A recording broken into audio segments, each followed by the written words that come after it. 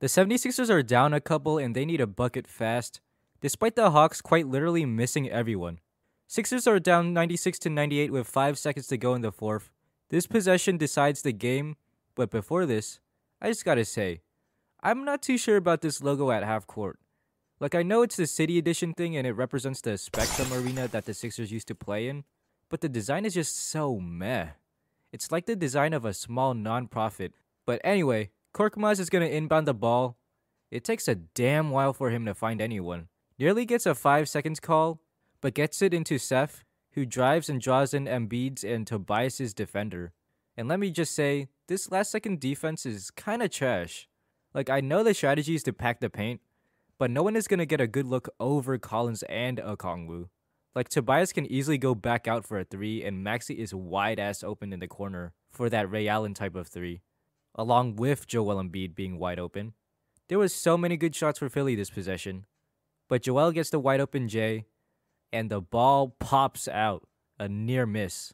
This happens to everyone. Sometimes the wide open shot just doesn't go in when you're hitting all these contested looks. Steph Curry. but when you make any mistake in Philadelphia, the fans will eat you alive, puke you out, and boil you. How dare you miss a shot? Anyway, there isn't some sort of crazy Philly fan thing in this video. It's almost habit for them to spew toxins, so Joel is used to it. The Atlanta Hawks managed to pull this one out without, let's see, um, Trae Young, Capela, Huerter, Gallo, and Sweet Lou. You guys can't see it yet, but Embiid is seething with rage. He's trying to contain it. I'm fine, I'm fine. But as soon as this random person's head blocks the camera, Embiid turns into a new man. He goes through his villain arc, and probably some Sixers heckling.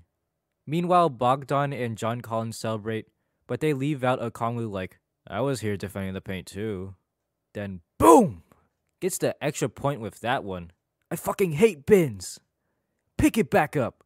Joel Embiid misses the game tying shot. Hope Philly media doesn't dissolve Embiid or tell him to work on his jump shot with Ben. Subscribe or Embiid will kick your bins. This video's a wrap.